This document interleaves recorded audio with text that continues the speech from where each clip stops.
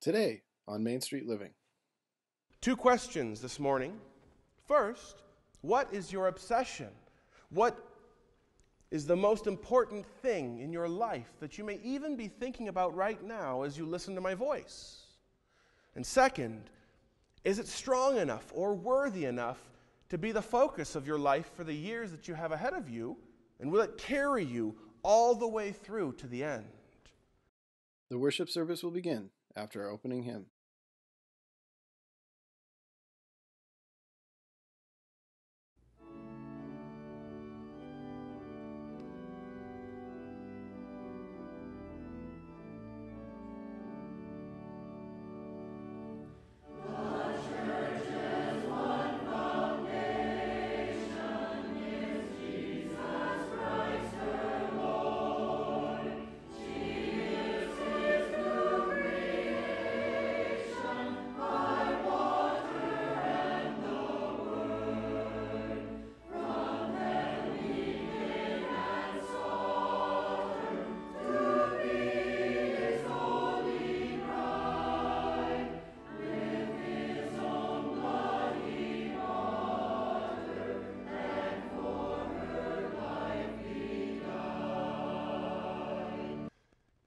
In the name of the Father, and of the Son, and of the Holy Spirit.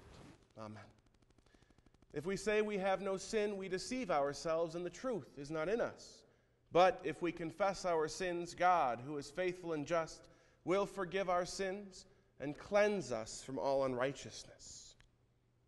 Let us then confess our sins to God our Father. Most merciful God, we confess that we are by nature sinful and unclean.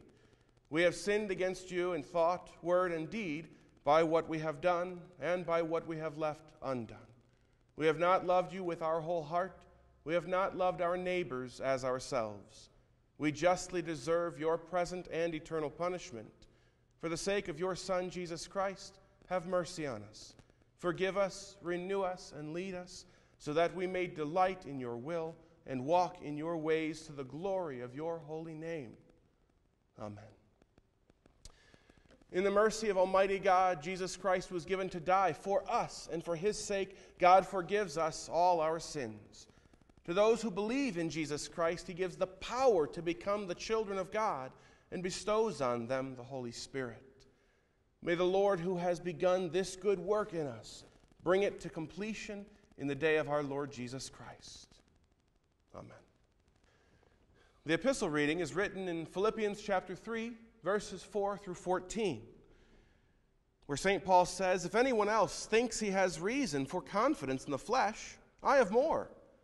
Circumcised on the eighth day of the people of Israel, of the tribe of Benjamin, a Hebrew of Hebrews, as to the law, a Pharisee, as to zeal, a persecutor of the church, as to righteousness under the law, blameless. But whatever gain I had, I counted as loss for the sake of Christ. Indeed, I count everything as loss because of the surpassing worth of knowing Christ Jesus my Lord. For his sake, I have suffered the loss of all things and count them as rubbish, in order that I may gain Christ and be found in him, not having a righteousness of my own that comes from the law, but that which comes through faith in Christ, the righteousness from God that depends on faith, that I may know him and the power of his resurrection and may share in his sufferings, becoming like him in his death, that by any means possible I may attain the resurrection from the dead. Not that I have already obtained this or am already perfect, but I press on to make it my own, because Christ Jesus has made me his own. Brothers, I do not consider that I have made it my own, but one thing I do, forgetting what lies behind and straining forward to what lies ahead. I press on toward the goal for the prize of the upward call of God in Christ Jesus. This is the word of the Lord. Thanks be to God. The Holy Gospel according to St. Luke, the 20th chapter.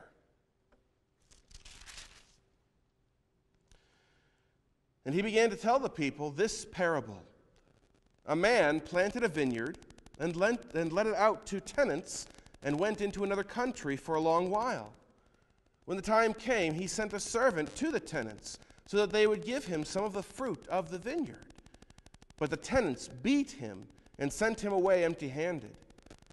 And he sent another servant, but they also beat and treated him shamefully and sent him away empty handed.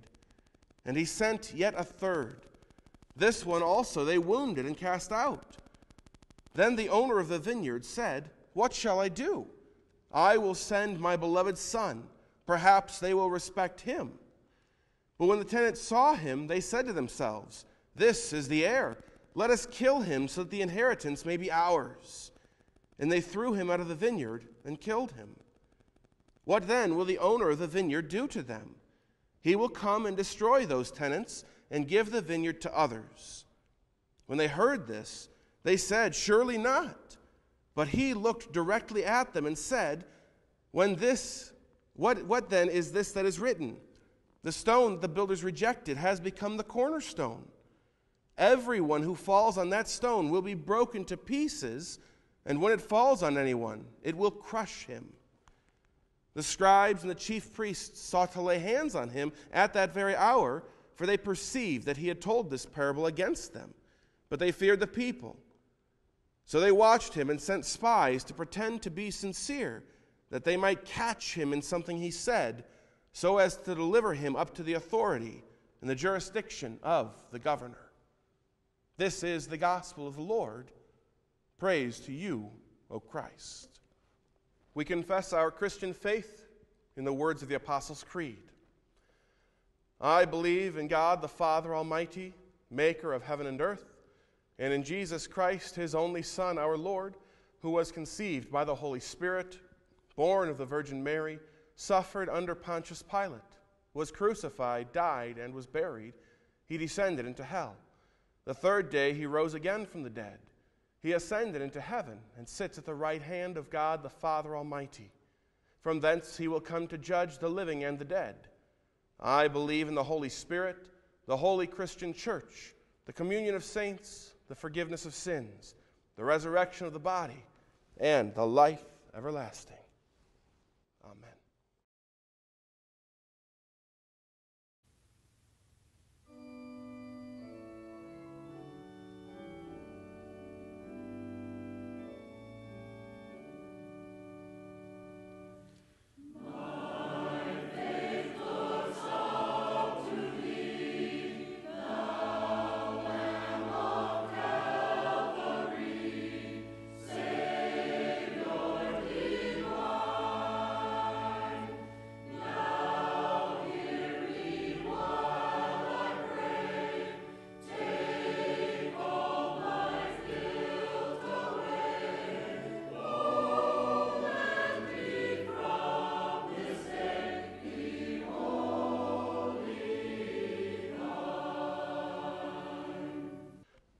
Grace to you and peace from God the Father and from our Lord and Savior Jesus Christ. Amen. The text for my message today is from Philippians chapter 3, verses 4 through 14. Two questions this morning. First, what is your obsession? What is the most important thing in your life that you may even be thinking about right now as you listen to my voice? And second, is it strong enough or worthy enough to be the focus of your life for the years that you have ahead of you? And will it carry you all the way through to the end? Whether you're 15 years old, 30 years old, or older, is your obsession something that will still be energizing you 10 or 20 years from now, filling your imagination, making life worth living, and pulling you forward into each new day? Our epistle reading for today was written in Paul's letter to the Philippian Christians, a group of Christians in what is now modern day northeastern Greece.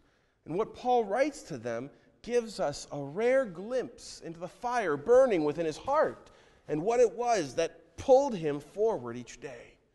So we're going to be looking at Philippians chapter 3, and I encourage you, if you're able, to read your Bible along with me if you can. St. Paul is still, to this day, known as one of the greatest theologians of Scripture. His letters are filled to the brim with a heaviness that can sometimes lead us to miss a real sense of Paul as a person. But this is not the case today. Let me tell you a little bit about Paul. Paul is fascinating because of where he came from. He was a Hebrew, a Jew, and yet also a Roman citizen. He was very well educated and he knew his culture through and through. He was a young and rising star, but powerful Pharisee. He was also absolutely convinced that followers of Jesus were heretics, and he was making a successful career out of rounding them up, persecuting them, and doing his best to make sure that others hated them as well. Paul was there and may have even taken part in the stoning of Stephen, the first martyr of the church. Paul had the world by the tail. And there was no reason for him to throw all of that away, to instead go around from town to town getting beat up for preaching Jesus to people, getting thrown in jail for being a heretic in the eyes of his former friends. That is, until that one day when he was on the Damascus Road, where he was confronted face to face with the risen Jesus and had his whole life turned around. Some use that event as the starting point of an argument for the Christian faith. Because when you look at Paul, there was just no rational explanation for what he did. That is, unless it was God who gripped him and turned him around. It certainly wasn't a case of Paul being racked with guilt or angst regarding the Jewish law, as some people have suggested. As far as Paul was concerned, he had kept the law flawlessly. He had it all nice and neat, wrapped up, tied up, ready for delivery back to God, saying, Here it is, mission accomplished. But then one day, on the road to Damascus, while seeking to arrest followers of Jesus, that thin veneer of faith fell apart when Paul met the risen Christ. Now, I want you to hear Paul tell it firsthand. You heard what Paul said in our second lesson just a little bit ago, but without a little bit of context, it may sound like Paul was boasting. Far from it, in fact. Now, we started reading at Philippians chapter 3, verse 4, but we need to start a few verses before that. And as we do, I suggest that you hold on to your seats. Starting in Philippians chapter 3 verse 2, St. Paul writes, "Look out for the dogs, look out for the evildoers, look out for those who mutilate the flesh, for we are the circumcision who worship by the spirit of God and glory in Christ Jesus and put no confidence in the flesh." There are some heat in those words. And this is because there was a group that was going around saying if you want to be a follower of Jesus, first you have to be a follower of Abraham and be circumcised. And in general, then, you have to follow perfectly the law of Moses and all these extra rules. Paul saw the treachery in all of that, though, and he was immediately all over it. He knew very well that if you start saying that, you end up putting your confidence in the things that you do, in the flesh, as Paul calls it rather than in the one and only thing that makes a difference. That is what Christ has already done for you on the cross, forgiving you all of your sins. All that circumcision and genealogy stuff is history, Paul says. But if you want to start strutting your stuff on that level, he says, I'll go toe to toe with you. It's meaningless, it's pointless. I no longer put my trust in it, he says. But I've been there. And if you want to play that game, I will match you point for point. And that's where he then continues with what we heard in our second reading, saying, If anyone else thinks he has reasons for confidence in the flesh, I have more. Circumcised on the eighth day of the people of Israel, of the tribe of Benjamin, a Hebrew of Hebrews. As to the law, a Pharisee. As to zeal, a persecutor of the church. As to righteousness under the law, blameless blameless. Like I said, Paul felt that he had previously had everything wrapped up in a box, tied neatly, ready for delivery back to God. Paul had once believed that he had the law of Moses licked as a Pharisee. And now he was going out to beat the church, which he saw as a heretic group, until he met Jesus, was stopped in his tracks, and was turned around. And thus he goes on, although in a very different tone. He says, But whatever gain I had, I now count it as loss for the sake of Christ. Indeed, I count everything as loss because of the surpassing worth of knowing Christ Jesus my Lord. For his sake I have suffered the loss of all things and count them as rubbish.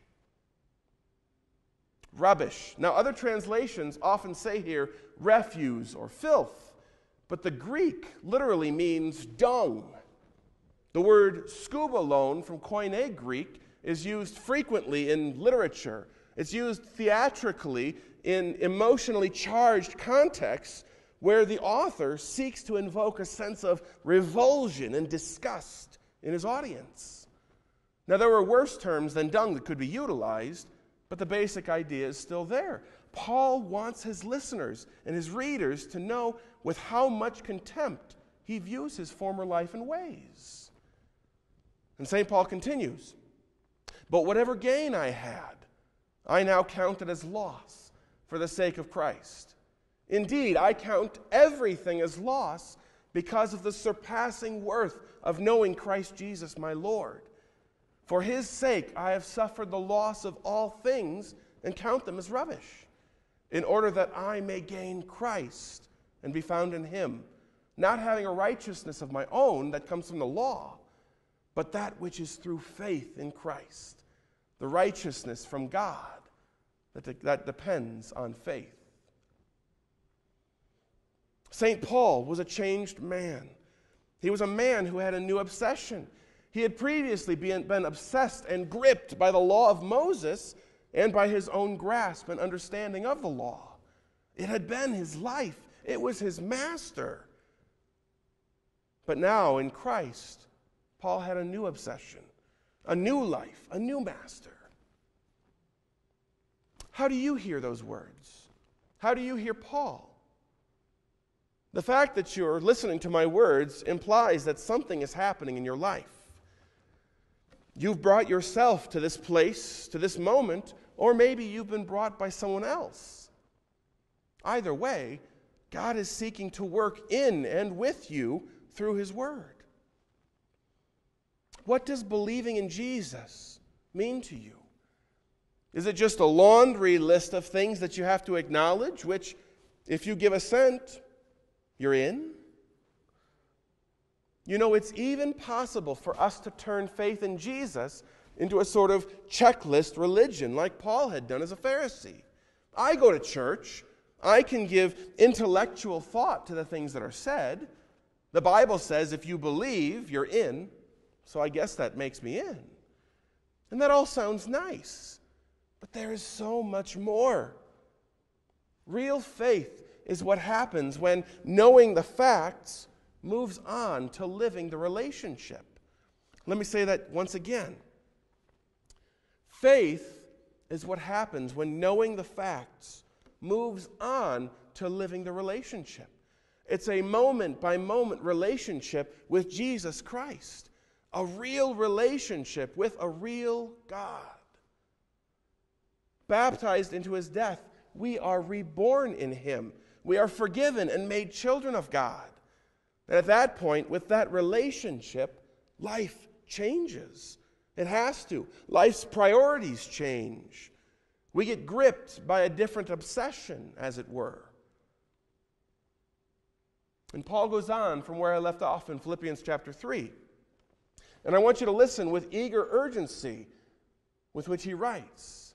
He has just described himself as not having a righteousness of his own that comes from the law, but that which is, in, which is through faith in Christ.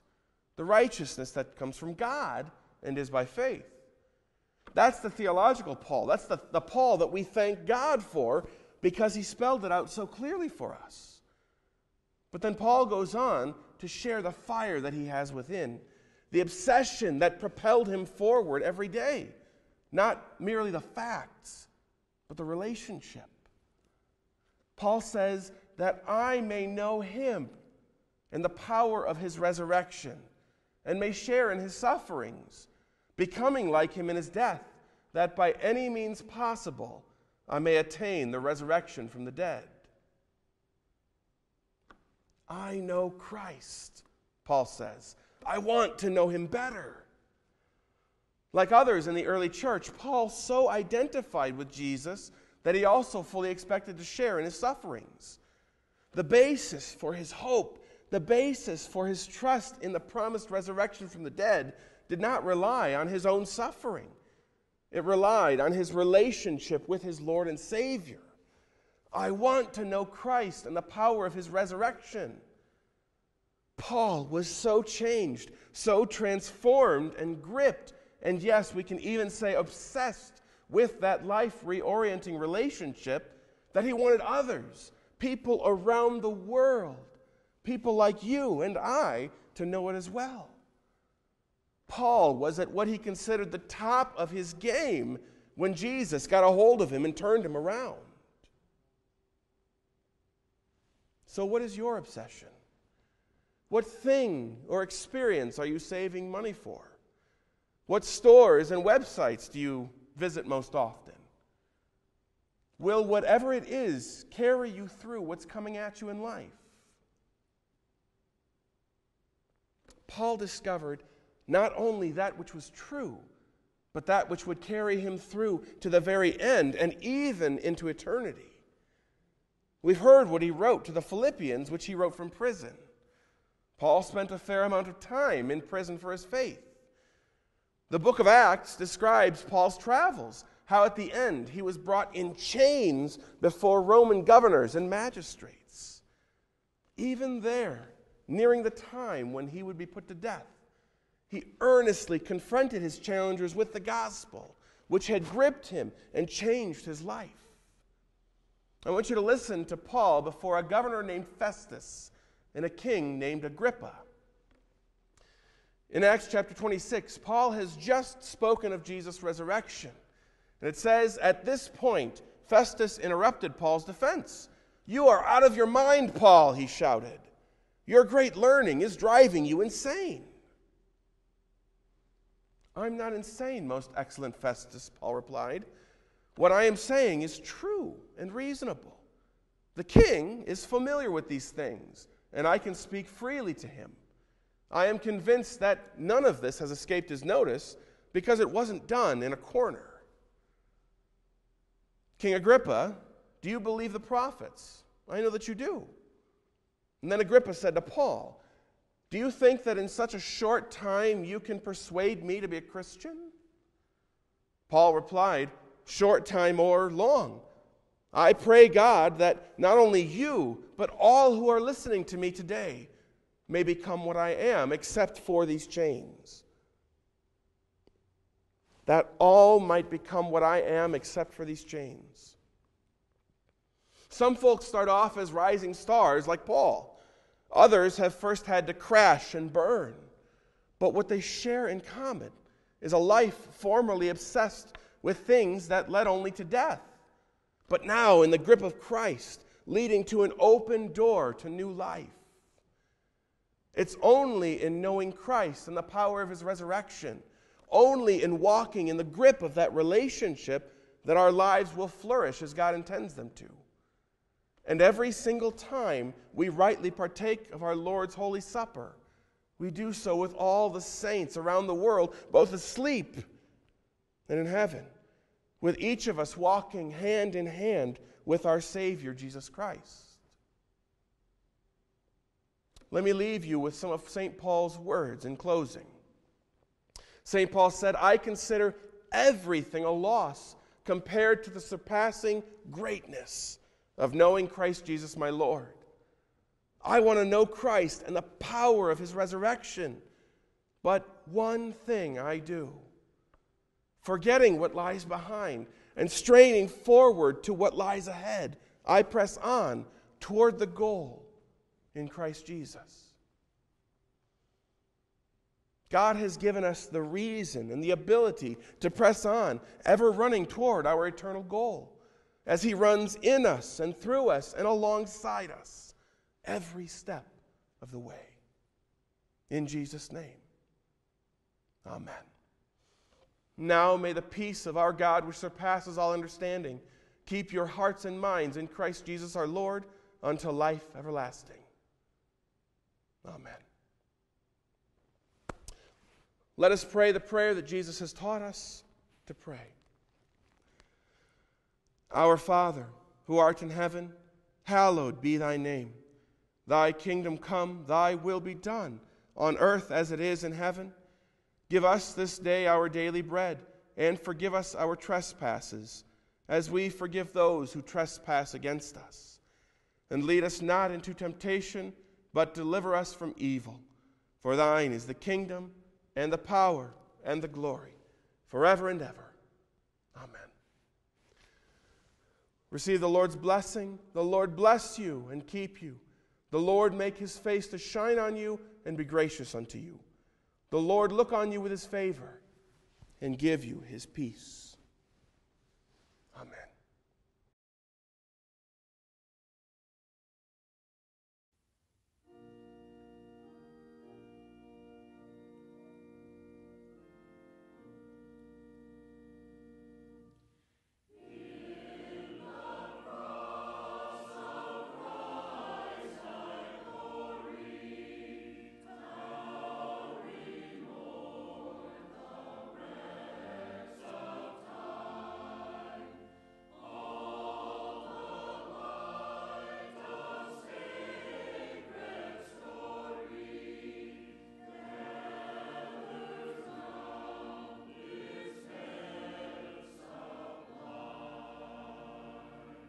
Thank you for viewing Main Street Living this morning. I'm Reverend Scott Sailer, the president of the South Dakota District of the Lutheran Church Missouri Synod and one of the preachers on this program.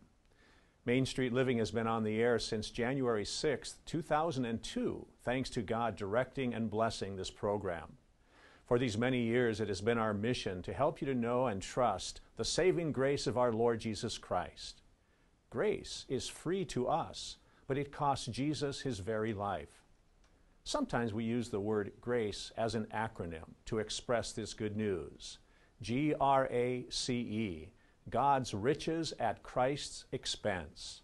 Grace, willingly given by our triune God because He loves you so much. Today you have heard good news like this on our program. Thank you for tuning in today to Main Street Living. We ask that you pray for God's continued blessing upon this program and please consider giving a gift to support this ministry and keep it on the air so that many others may know God's saving grace for them. You may send your gift to this address Main Street Living, 1400 South Duluth Avenue, Sioux Falls, South Dakota, 57105. Tune in again next week to Main Street Living. And until then, remember that God loves you so very much and that His grace God's riches at Christ's expense is something you can count on every day of your life.